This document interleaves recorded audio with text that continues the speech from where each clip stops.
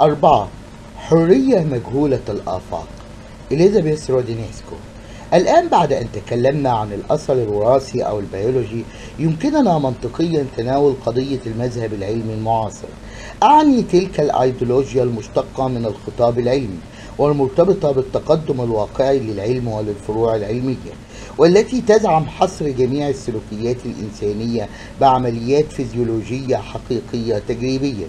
في مواجهة تلك الهيمنة التي تسير كتفا إلى كتف مع تحويل الإنسان إلى آلة تساءلت عما إذا لم يكن من الواجب إحياء واسترجاع المثل الأعلى عن مفهوم سارتري تقريبا حول الحرية على أن لا تستبعد منها الحريات اللاشعورية. جاك ديريدا بالتأكيد ليس المذهب العلمي هو العلم. ورجال ونساء العلم يتم التعرف عليهم بأنهم لا يكونون أبدا تقريبا أبدا من القائلين بالمذهب العلمي. وإذا قام المذهب العلمي على التوسيع غير المشروع لحقل المعرفة العلمية أو على إعطاء بعض النظريات العلمية نسقا فلسفيا أو ميتافيزيقيا لا يمت لها بصلة فهو بذلك يجعل بدايته من حيث يتوقف العلم وحيث يتم تصدير نظرية ما خارج نطاق صلاحيتها. إن المذهب العلمي يشوه أفضل ما يستحق الاحترام في العلم على أنني لن أستخدم كلمة التجريبية أو التجريب بالسهولة التي تكلمت بها عنها فالتصرف التجريبي ليس بالضرورة علميا لكن لا جدال في أن التجريبية المنطلقة إلى أبعد ما يمكن يجب عليها التوافق مع العقلانية النوعية التي تنطلق داخل نطاقها ويمكن وقوع التجريب في العلوم الطبيعية وفي البيولوجيا وفي الأبحاث حول الموروثات وكذلك إنما بصورة مختلفة في علم النفس. هل تفكر العصبونات؟ هذا سؤال قديم ويطرح عموما في غير محله من طرف الممثلين الرسميين لعلم الأعصاب بسبب نقص ثقافتهم الفلسفية. هذا أمر معروف جيدا. فمهما كانت كفاءتهم في مختلف ميادين بحوثهم يقول رجال العلم أحيانا ما يعين لهم دون تمييز عندما يدسون أنوفهم في الفلسفة أو الأخلاق. علما بأن تحديد ميدان البحث يكون أحيانا من الأمور الصعبة ولا يتعلق بكفاءة الاختصاص لا غير.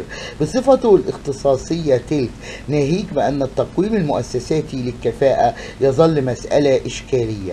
أما خلط أفضل أن أقول تمفصل التفكير ما يسمى هكذا لكن ماذا يعني فعل فكر؟ السلوكيات الإنسانية أو النشاط النفسي مع ظواهر ميكانيكية فهذا ما قد يقلقني. إذ كنا حيال مسعى قوامه المنهج التقليص والتبسيط. أعتقد أنه من الضروري وأوافق على الأهمية التي ينظر بها إلى الآلات وإلى تعقيد آلية عملها.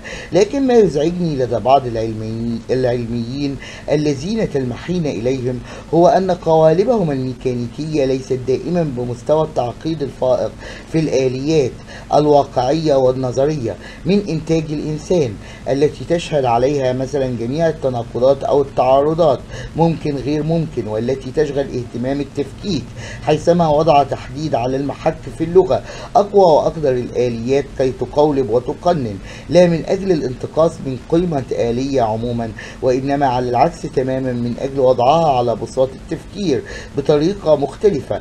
إعمال الفكر بطريقة مختلفة بحدوثها وبتاريخيتها.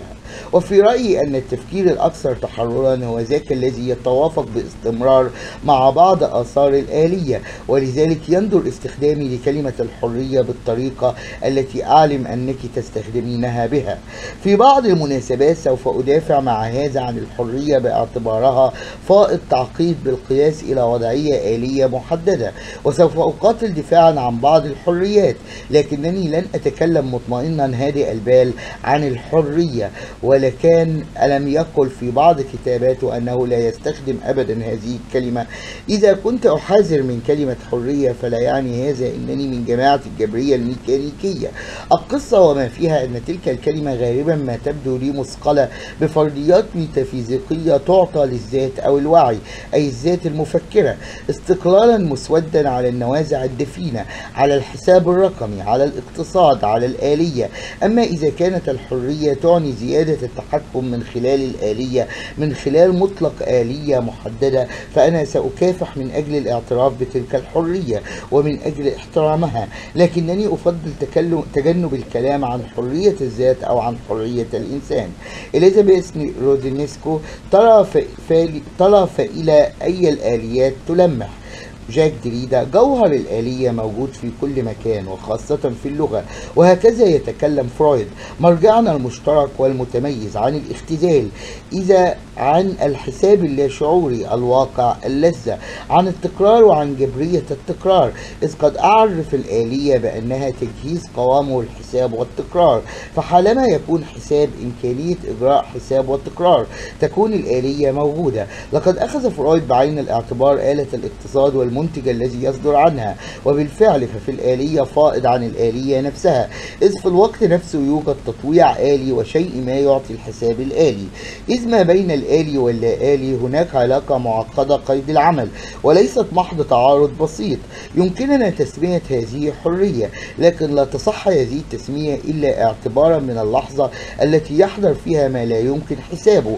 وهنا أيضا يطيب لي التفريق بين ما يتعذر حسابه وهو ما يظل منسجما مع الحساب لكنه يتملص منه لأسباب كامنة فيه مثل الغائية النهائية وحدود سلطة ما إلى آخره. واللا حساب له الذي لا يعود له من انتماء بسبب جوهره تحديدا إلى النسق الحسابي والحدوث الذي يجب بجوهره أن يظل مستعصيا على التنبؤات وبالتالي فهو غير ممكن البرمجة. يكون حين ذاك ما يفيض عن الآلية ويتجاوزها فالذي يجب محاولة التفكير به ونظرا لصعوبته هو الحدوث بالآلية وهذا ما أجرب اقتراحه في موضع آخر. لكن من أجل الوصول إذا كان هذا ممكنا إلى ما وراء كل حساب أي أيضا إلى ما وراء كل تقنية وكل اختزال. يجب أن نراعي البرمجة الآلية التكرار الحساب. إلى أبعد مدى ممكن إلى ما لا نكون مستعدين أو جاهزين لتوقعه. ويجب تعقب آثار الحساب الاقتصادي في كل مكان ولم ي... ولم لم يكن إلا من أجل أن نعلم من أين يفد إلينا الآخر أي اللا متوقع أي الحدوث الذي هو تحديدا يتعذر حسابه.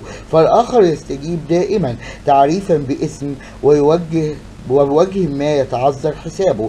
فلا يمكن لأي دماغ ولا يمكن لأي تحليل يفترض بأنه حصري أن يطلعنا على وفود الآخر إلينا. فوفود الآخر قدوم القادم هو ما يحدث بصفة حدوث غير متوقع يجب أن نأخذ في حسابنا ما يتحدى تقديم الحساب ما يتحدى أو ما يحرف بصورة مختلفة مسار المبدأ الذي يحدد العقل بتقديم الحساب. عدم إنكار أو تجاهل ذلك القدوم غير المتوقع وغير المحسوب للآخر. هو أيضا المعرفة مثلما هو أيضا المسؤولية العلمية. إليزابيث رودينيسكو مفهوم الجبرية اللاشعورية اليوم والمقولة الفرويدية بصدد الجروح الثلاثة النرجسية هما جزء لا يتجزأ من حديثنا. إنهما موضع قبول فكل فرد يومي يعلم بأنه ذو لا شعور. وبهذا فالتحليل النفسي قد استلم الراية من فلسفة الوعي من فلسفة الذات الواعية وأصبح يمثل فلسفة الذات اللامتمركزة. لقد حالفه التوفيق في الجمع بين عرفين متخاصمين بتعديلهما معا الواحد والآخر. الآخر والواحد بالآخر. المدير العصبي الفسيولوجي والمدير الروحاني الاستبطان ابتكار الذات استجلاء الأعماق الحميمة ثم أضاف إلى هذا تراثا سريريا نابعا من جهة من الطب النفسي تصنيف الأمراض ومن الجهة الثانية من المعالجات الروحية الغابرة المداواة بالتحويل. ولكن ما هو أكثر جدا في أيامنا على ما يبدو لي هو أن هذا الموضوع الحديث والذي فقد تمركزه لا يريد أن يعلم أي شيء هذا اللاشعور الذي لا الذي يعرف بأنه موجود. هو يفضل إحالة الأمر إلى آليات إلى عصبونات إلى سيرورات عضوية لا يحكم قبضته عليها. ومن هنا فكرتي بإعادة تأسيس حيز من الحرية لهذا الموضوع المحدد أو المحاصر من جميع الجهات بآليات اجتماعية اقتصادية بيولوجية. لأننا إن كنا حقا محددين من جميع الجوانب وإن كان من غير الممكن حدوث أي شرخ نكون معرضين للاستعاضة الإرادة عن النفساني بالثقافي وعن الشمولي بشيء ما لن يكون مشابها للاختلاف أو للنفي وإنما للجذور لأصل شديد الرسوخ داخل نطاق سيادة في حيز أرضي حتى لو كان هذا الحيز خياليا. فوق هذا فالمذهب العلمي له أثره المشؤوم دائما في الميدان السياسي. سوف أذكر بخصوص ميدان أعرفه جيدا بأن قادة الاتحاد العالمي للطب النفسي ودائما باسم حياد علمي مزعوم أي باسم المذهب العلمي رفضوا منذ عشرين عاما شكب الممارسات الاستغلالية لفرعهم العلمي في الاتحاد السوفيتي سابقا. وباسم وباسم هذه العلمية المزعومة ذاتها في الممارسة والنظرية جعل بعض المحللين النفسيين من أنفسهم شركاء مع الدكتاتوريات اللاتينية الأمريكية بالتأكيد على أن أخلاقياتهم تفرض عليهم البقاء على الحياد في مواجهة التعذيب والاعتداءات على حقوق الإنسان. وفي ظل النازية تم استغلال حجة الحياد العلمي بكثافة على هذه الصورة. واليوم نشاهد ولاغة صيغة أكثر سوفت لطفا لهذا الموقف. فغالبا ما يتذرعون على سبيل المثال في الطب النفسي بعلمية مزعومة في مقاربة الأمراض العقلية ليست أكثر من استغلال نفساني للمرضى. أما طريقة الرجوع في أيامنا هذه إلى سببية محض نفسية أو عضوية أو إلى أثر ما لشرح العصاب بينما كان فرويد قد تخلى عن هذا الطرح في عام 1897 فأرى فيها موقفا نقوصيا فدون إنكار الإلزامات الاقتصادية أو البيولوجية أو الاجتماعية يمكننا إفساح المجال لوجود حيز ما مكرس للنشاط النفسي ولفكرة الحرية الذاتية. جاك دريدا بكل تأكيد ولكني لا أرى جيدا ماذا تعنين بحيز ما وما نحن في واقع الحال نود إنقاذه. نحن يجب علينا التفاهم بصدد كلمتي الذات الفردية والحرية فما يقاوم ويجب أن يقاوم هذه الجبرية الملزمة أو هذه الإمبريالية في الخطاب الجبري. لا أسميه شخصيا ذاتا فردية ولا أنا ولا وعيا ولا حتى أنه لا وعي وإنما أجعل منه سمة من سمات الآخر. ما يتعذر حسابه ما هو رهن الحدوث والفرادة معروضة في واقع ما هو قادم. باعتباره آخر وباعتباره متعذر الحساب والفرادة بما هي كذلك. ظهرت كذلك أم لم تظهر. لا تتقلص أبدا في وجودها ذاته لتنحصر داخل نطاق مبادئ حساب آلياتي ولا حتى داخل قوانين أبعد الجبريات عن التشكيك والجدل فكيف نسمي هذا؟ هذا صعب أنا دائما أخاف حينما أسمي هذه حرية أن أعيد بناء خطاب فلسفي سبق أن تعرض لحد ما من التفكيك أي العودة إلى الحرية كسلطة مهيمنة على الذات الفردية أو استقلالية الأنا الواعية إرادة الكوجيتو وحتى حرية الوجود دازاين إلى آخره. والمحاولة الوحيدة أكثر الآثار الباقية إقناعا لإعطاء كلمة أو مفهوم الحرية فضيلة من بعد التفكيكية وهذا ما يبدو لي لازما في أغلب الأحيان خاصة لاستقبال أو لاستخراج ما هو قادم ما سوف يكون له قدوم تحت أسماء أخلاقية أخرى. إعادة تسييس على قياس مفهوم آخر للسياسة تغيير قيد الحدوث في القانون الدولي إلى آخره. أعتقد أني ألمح ألمح هذا أنا على أقل تقدير ألمحه في بعض المقاطع من كتاب تجربة الحرية لمؤلفه جان لوك نانسي. وغالبا ما حصل معي خلال هذه السنوات الأخيرة كلما كان علي تسمية أشياء من هذا القبيل. الحر ما يتعذر حسابه ما لا يمكن توقعه ما لا يمكن عقد العزم عليه. الحدوث الطارئ الواصل الآخر. إنني كنت أتكلم عما هو قادم. إليزابيث رودينيسكو ما هو قادم؟ جاك دريدا نعم.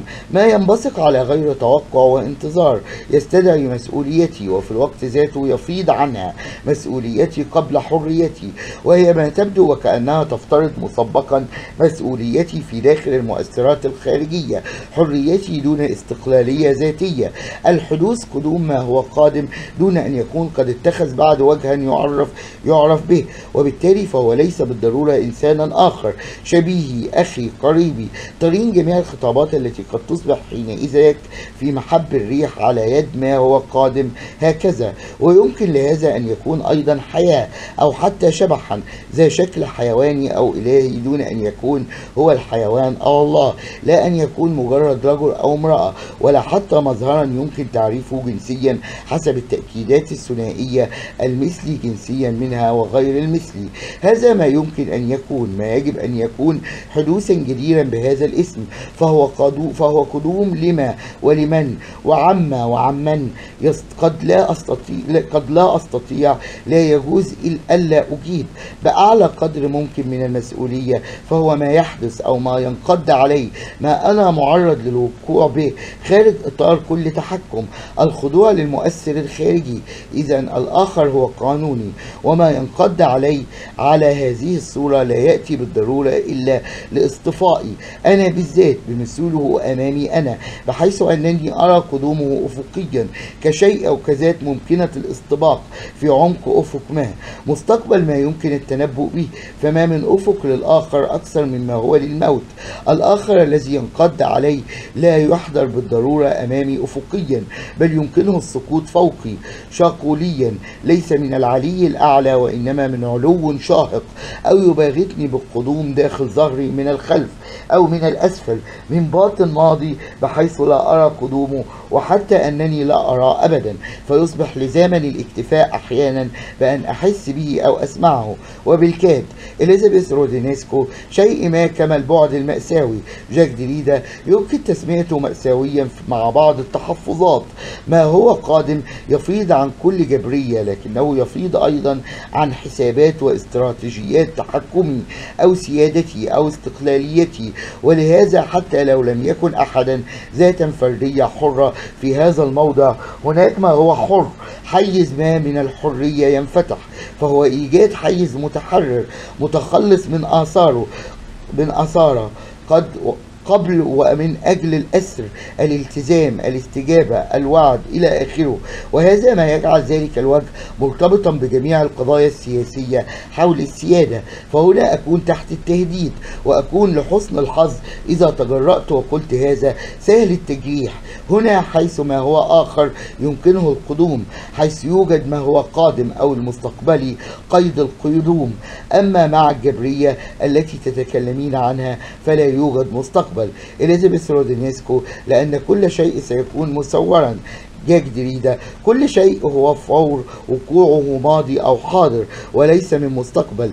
لكن حيثما يأتي ما تبقى ليأتي ما تبقى ليأتي أكون معرضا مرتهنا بأن أكون حرا بأن أحسم أمري بمقدار ما أنا غير قادر على التنبؤ على التحديد المسبق على التشخيص الحدسي. يمكننا تسمية هذا حرية إنما بالتحفظات التي رسمت للتو ملامحها. فشرط حسم الأمر الحسم الواجب والذي يجب افتراضه مسبقا في كل الأمور هو محك التجربة لهذا الذي يتعذر حسم الأمر بشأنه والذي تحدثت عنه للتو تحت صيغة ما هو قادم. فإذا كنت أعلم ما يجب أن أحسم أمري بشأنه فلا أحسم شيئا. فبين المعرفة والحسم هناك قفزة لا مهرب منها. حتى لو كان من اللازم توافر أكبر وأفضل معرفة قبل اتخاذ قرار الحسم لكن إذا لم يكن الحسم تحت سلطة سلطة معرفتي لا غير وإنما هو أيضا ضمن قدراتي إذ كان من ممكني إذا لم يكن سوى الخبر يقين عما أكون وعما يمكن أن أكون. فأنا هنا أيضا لا أحسم أمري ولهذا دأبت على القول وأحاول أن أبين بماذا يمكن لقرار الحسم لدي أن يكون. ويجب أن يكون قرار الحسم لدي لدى الآخر في داخلي فهو حسم سلبي حسم يقوم به الآخر دون أن يعفيني من أي مسؤولية. فهذه مقولة فاضحة حيال الحس السليم وحيال الفلسفة. لكنني أعتقد أن بالإمكان عقلانيا هذا ما لا أقدر عليه هنا البرهان على الضرورة القطعية لها وعلى تبعاتها. وعندما أقول عقلانيا فأنا أستعين بوضوح بتاريخ العقل وبالتالي أيضا بمستقبليته. بالما هو قادم تحت اسم العقل. إليزابيث رودينيسكو إمكانية الحرية لديك هي إذا ما هو قادم. ما لن يكون بالإمكان معرفته. الحدوث المتعذر توقعه المتعذر حسابه. على هذا قد يمكننا مناقشة مسألة اختراقات علم البيولوجيا. البيولوجيا. لا كجبرية طريق ممارسة الحرية الذاتية وإنما كشيء يجب ضمه إلى ذلك المتعذر. حسابه يتجه تفكيري خصوصا إلى الاستنساخ الذي سبق حديثنا عنه. أنا لا أتفق في هذه المسألة مع موقف الذين يستهجنون العلم بشدة ويجعلون منه شيئا شيطانيا دون أن يفهموا بأن المذهب العلمي وليس العلم هو الذي يهاجم بكل ذلك العنف الأنسنة والفلسفة وفرويد والتحليل النفسي وأرى بأن تخيل تصنيع كائن بشري استنساخ تكاثري متصل بالمذهب العلمي بخيال علمي ولا محل للتخويف منه في الظروف الراهنة. فحتى إذا كان مثل هذا التكاثر ممكنا تقنيا فلن يكون وجود الكائن المستنسخ هو الوجود الذي نتخيله في يومنا هذا. والسبب تحديدا أن الوجود سوف يقضي بأن يكون المستنسخ فردا مستقلا وأن تكون له هوية مستقلة. حيال هذا الأمر أظن فرويد كان سيشعر بشغف أمام المشاكل الراهنة جاك دريدا هذا. جاك دريدا هذا معقد جدا بكل تأكيد يجب الإقرار بهذا مقدما. أمام بعض الصور وبعض العرض المسرحي للتكاثر المتماهي وفي مجموعات لأفراد من البشر أتفهم أن يسود الشعور بالرعب وأنا هكذا أفسر ردود الفعل المباشرة والعاطفية لبعض الناس من المسؤولين السياسيين على أعلى مستوى. أولئك الذين يقال لهم الحكماء الرسميون في اللجنة الأخلاقية على سبيل المثال. فالكفاءة الفلسفية أو الأخلاقية أو السياسية أو القضائية لهؤلاء الحكماء ومعرفتهم الافتراضية. الحكمة ليس مجرد معرفة وتحديدا معرفة افتراضية هنا أقل من أي يوم مضى. هي بالذات محل الإشكال. حتى لو هذه فردية أو أليس كذلك؟ لم نطرح على أنفسنا أي سؤال حول الكفاءات العلمية أو حول البصيرة الافتراضية لدى هؤلاء الحكماء. نكون هنا بصدد قطاعات حسم حيث فكرة الكفاءة ذاتها والمعرفة والحكمة. للأسباب التي كنت أقولها من لحظة ذات صلاحية غير كافية بالمطلق وفي غير محلها بصورة جوهرية. لكنني من وجهة نظر الخيال أفهم رعبهم ويمكنني أيضا أن أشاطرهم إياه. وإذا فكرنا بالأمر فأنا أعتقد على كل بأنه قد حصل استنساخ وهو يحصل وسوف يحصل فلن تعيق التشريعات الاستنساخ. ثم إذا عينا عن كسب مفهوم الاستنساخ ذاك إنتاج فردين متماثلين تماما بنيتين من أحياء متماثلين تماما فهذا كان موجودا باستمرار وهذا يتم في كل وقت في التكاثر عموما. وليس بالإمكان مراقبة أو منع التكاثر عموما. ولا يمكن إنكار وجود المثيل المتماهي والذي يعود والذي يتكاثر فالمثيل المتماهي له رجعة في كل وقت بشكل من الأشكال في الأسرة في اللغة في الأمة في الثقافة في التعليم في الأعراف. نسعى لإعادة إنتاج الشيء ذاته محاولين إيجاد الأعذار لتبرئة أنفسنا من التهمة. ودون تكسير المتماثل لن تكون أيضا ثقافة ختاما يجب أن نعلم وهنا نقترب من اعتبارات واقعية أكثر فعلية أكثر محسوسة وعملية أكثر بأن إمكانية الاستنساخ لن تستغل حتما من أجل غايات رهيبة.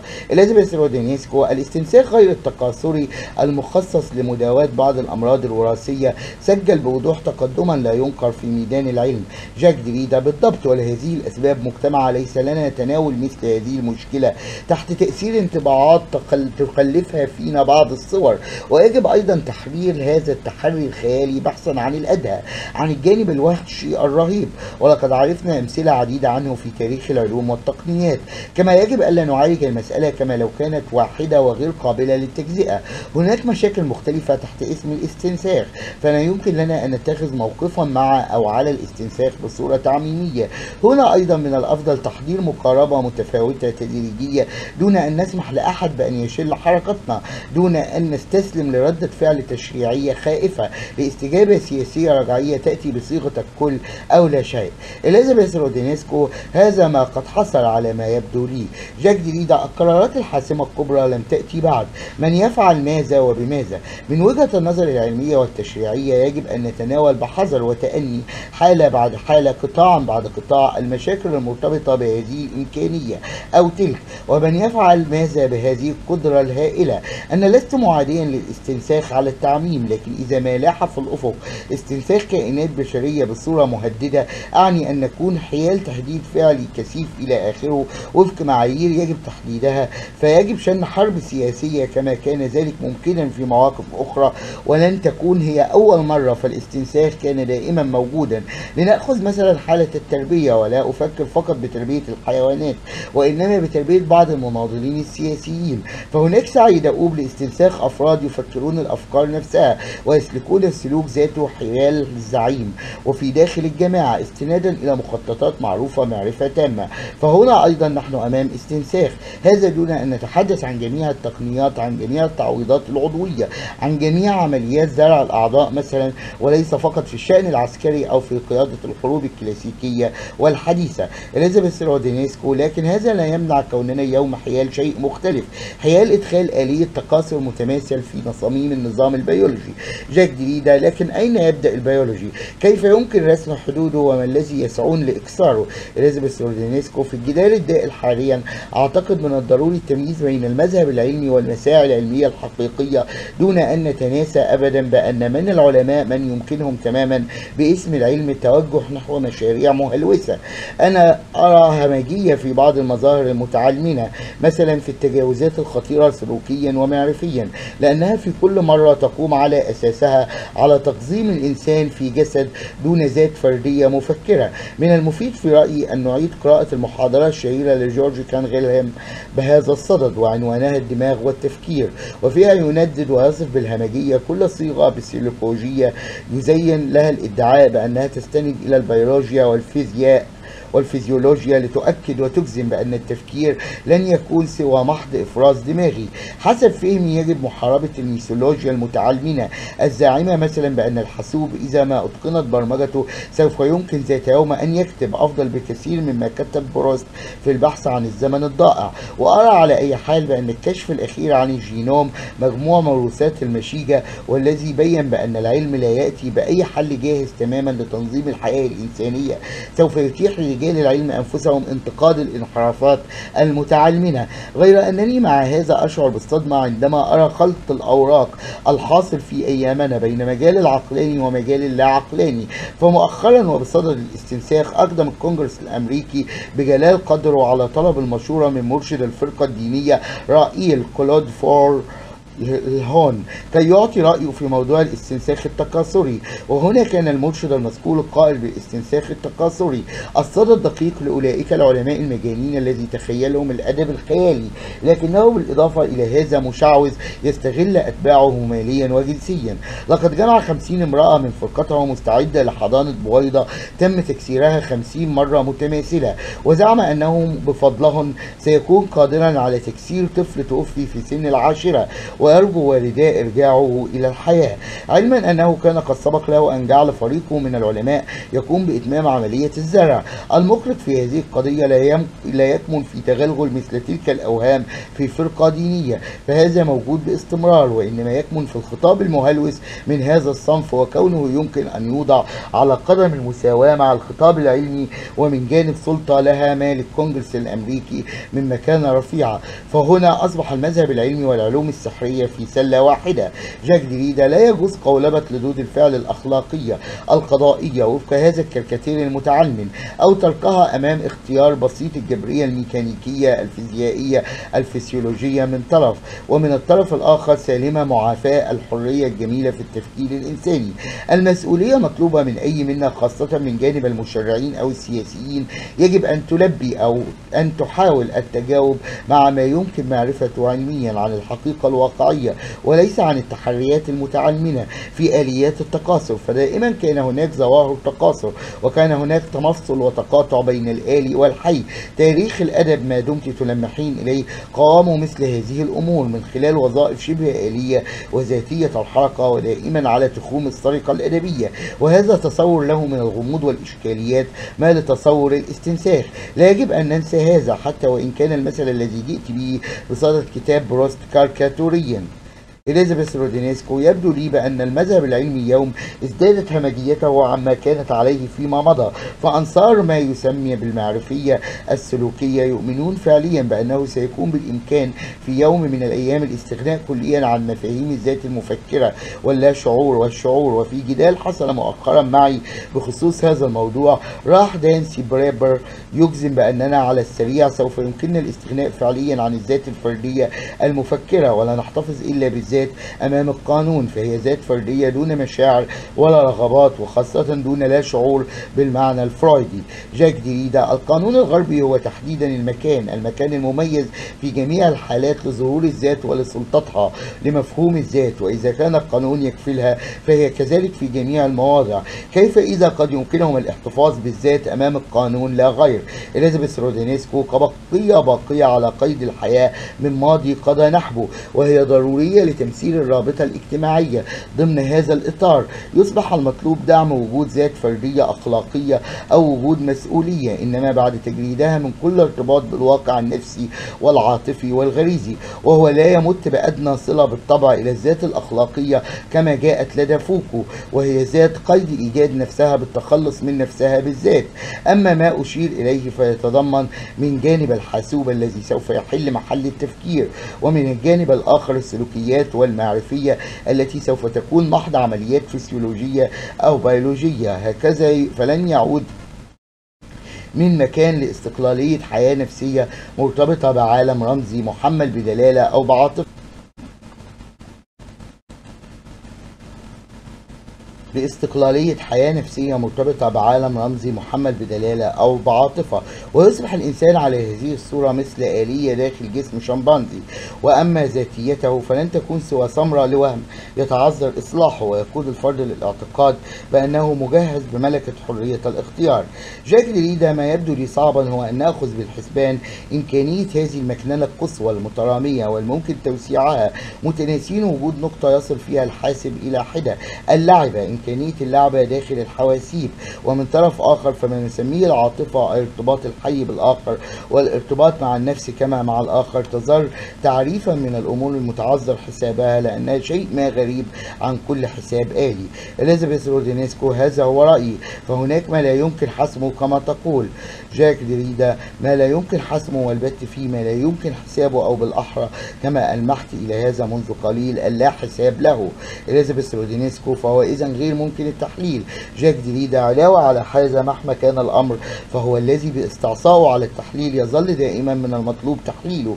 ومما لا شك فيه فهذا الاستعصاء في تجزئة العاطفي أي الآخر والعلاقة بالآخر هو ما يجب أن نعود إلى تبنيه دون الانحراف في أيديولوجيا رجعية لا يزال اسمها حتى يومنا هذا الحرية أو اللاشعور إليزابيث رودينيسكو العاطفة والنزاع. جاك دريدا الآخر قدوم الآخر يظل دائما خارج نطاق الحساب لن يتخلف هذا عن إحداث بعض التأثيرات في الآلة لكن هذا لا يمكن حسابه بالآلة. يجب التفكير أي الابتكار هنا لما هو مطلوب كي لا نغمض أعيننا أمام الآلة وأمام التقدم الخارق في الحساب. مع تفهمنا الكامل داخل وخارج نطاق الآلة لهذا الرهان على الآخر. هذا الرهان مع الآخر وحالما نقبل بهذا المبدأ ونسلم بهذا الحضور للآخر إذ بالحدوث القادم لتحريكنا إذ بهذا العاطفي الذي هو ما يتم تعريف الحياة من خلاله. حين ذاك يجب ترتيب أمورنا لابتكار وإبداع قدوم خطاب قادر على أخذ هذا الأمر بعين الاعتبار.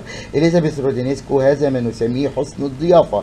جاك دريدا يعني مثلا فلعل هذا من بعض أسماء هذا الشيء الاستقبال بصورة خلاقة مع إضافة ما عندنا ما يأتي إلينا إلى ما داخلنا دون دعوة ودون إمكانية تجنب هذا الحضور.